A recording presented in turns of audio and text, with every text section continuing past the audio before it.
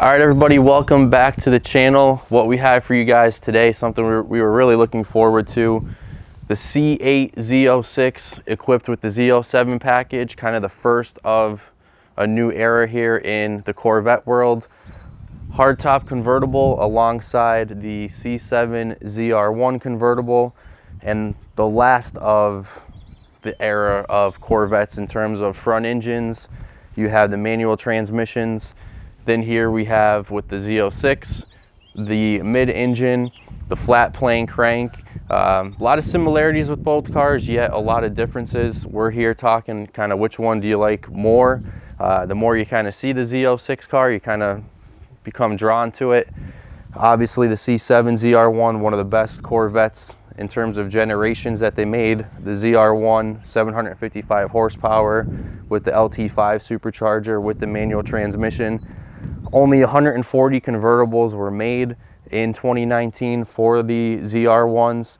Um, you know, just rough estimate about 70 of those being the ZTK cars with the high wing, uh, the other half being low wing.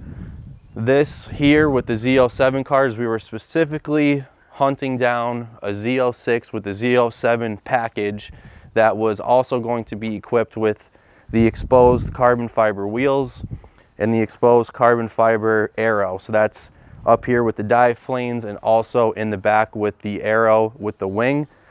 Those three options, the wheels, the aero, the Z07, those are your top three options. This car specifically has over $53,000 in factory options. The window sticker is a little over 181,000, one of the highest stickers I've seen uh, for me personally, it is the highest one that I've seen. I know on the C8 tracker website that there is an MSRP out there of 181, 700 and change. So really this car is right there. Um, but only 102 of those cars that are being built with the Z06 um, have all of those options. So right now there's 234 Z07 cars that were built out of all the Z06s. When you narrow it, narrow it down to the carbon fiber exposed wheels and aero, you are down to just 102. How many of those cars are convertibles? You're going to probably be around 30 to 40 cars in total would be my guess. So 140 convertibles with the ZR1s in a manual transmission, 102 cars equipped with the Z07 and all the exposed carbon, probably uh, you know our only time that we're going to have matching colors in terms of a ZR1 convertible manual transmission and then a convertible hardtop uh, convertible with the Z06 and all of those options. So uh, the sound on both of them, I mean the flat plane crank is unbelievable. Same thing with the LT5 and the 755 horsepower from that engine. You have the 670 uh, horsepower from the flat plane crank all the creature comforts with all the carbon fiber and everything that is in the Z06. Uh, competition sport seats from the Sebring Orange package in the convertible here. Your, I think they're called the GT2 bucket seats on the Z06. Uh, it's just, you know, kind of crazy to see the transformation from the C7 to the C8 some people obviously love it already. It's taken us a little bit of time to kind of open up to the C8 uh, cars. At first, I was not a fan of the C8.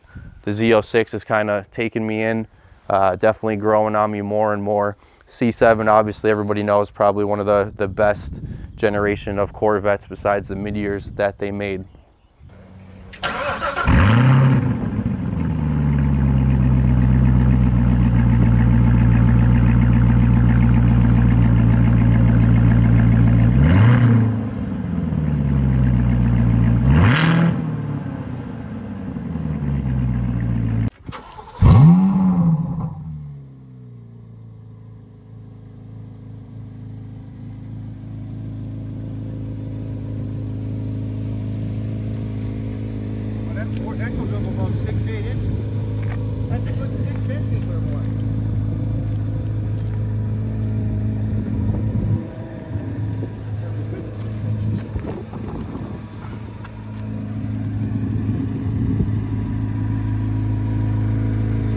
All right, so that's a wrap, guys, on our little comparison here of the C7 ZR1 convertible manual transmission and our C8 Z06 equipped with the Z07. If you haven't already, please subscribe, leave a comment, let us know what you guys think. Would you go C8, C7, uh, if you had a choice? Be on the lookout for what we have coming your way.